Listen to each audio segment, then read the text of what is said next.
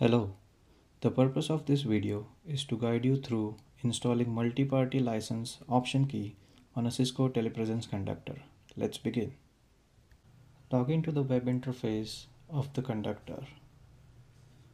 Navigate to maintenance option keys and you will be redirected to option keys page.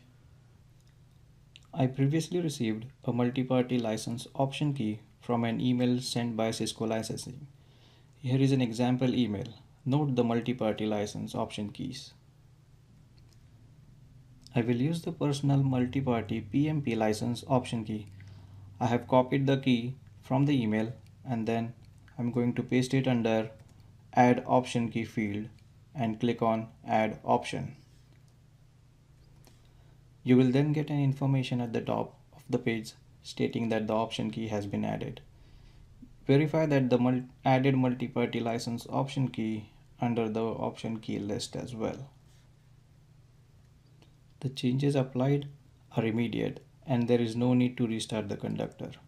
Repeat the procedure if you have received shared multi-party SMP license option key as well.